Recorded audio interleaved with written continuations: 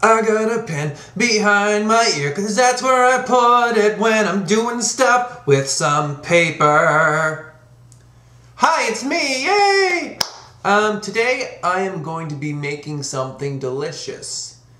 And, uh, well, I was thinking when I was a little kid, one of my favorite things that I used to love to eat was chocolate pudding.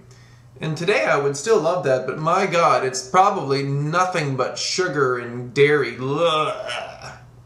So today I'm going to teach you all how to make healthy carob pudding.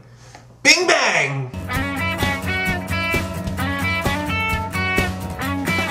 Okay, so you must all be very super excited because this pudding is going to be super awesome. We're just going to use uh, very earthy, delicious ingredients, healthy, nutritious. We're going to use some fresh dates. We're going to have to take the pits out of them. Half a cup of uh, soft pitted dates. Of course, my best friend avocado, a ripe avocado. This one might be too ripe, but it's all I have. Uh, a frozen and then unthawed are actually, I've come to realize that unthawed would actually mean frozen if you unthawed something. So, a thawed banana, which has been frozen, and uh, carob powder. So I was just looking online at some of the uh, nutritional information, the health benefits of avocado, since we're going to be using an avocado for this pudding. And uh, what I found is um, a list 10 uh, health benefits of avocados. Prostate cancer prevention, oral cancer defense, breast cancer protection, eye health, lowers cholesterol, heart health, stroke prevention, better nutrient absorption. Okay, so for carob powder on a website called healthmad.com, and I will put both links to both websites in the text for this video, there's a list of 12 different health benefits that carob powder has. Just at random, improves digestion, lowers cholesterol.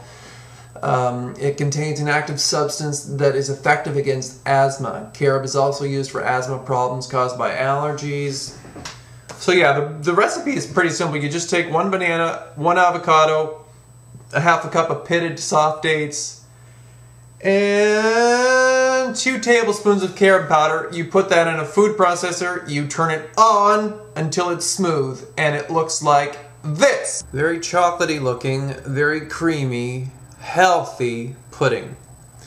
You could feel confident to eat the whole goddamn thing if you want bananas, avocados, carob powder, dates, and it put a little bit of maple syrup at the end, but that depending on how sweet your bananas are, how ripe your avocados are, how sweet your dates are, you might find that it's good with the recipe that I gave you.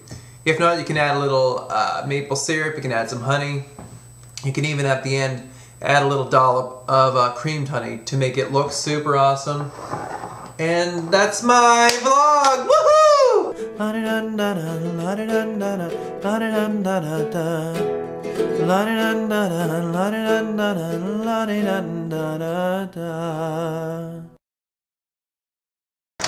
This is what it sounds like when my food processor's on in the kitchen and I'm in my bedroom. And it even scared this plate off the kitchen table. It's like, no!